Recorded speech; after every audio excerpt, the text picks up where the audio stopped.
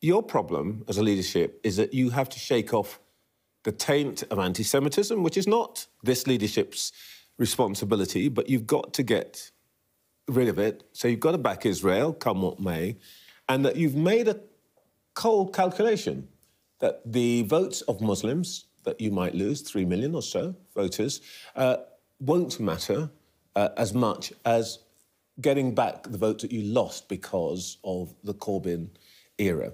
In short, you're taking Muslim votes for granted. You've covered a lot of issues uh, in that sentence, but the one thing I disagree with is the frame that you've put around it. We're not thinking how do we win votes or what votes we will lose at a time when there is war and conflict unfolding before us and there are human tragedies of a scale we've not seen okay. for a very long time.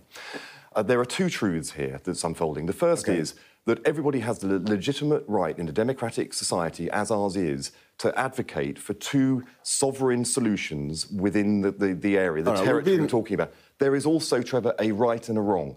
What Hamas did was wrong, and we stand on the side of Israel okay. within international law to defend itself. Oh. These two things can happen if we get it right. And Keir Starmer's right. leadership has been steadfast. Okay, well, you've made, he's been sensitive to the long-term challenges and listening to the voices who campaign, but he's also been steadfast in support on the right and wrong.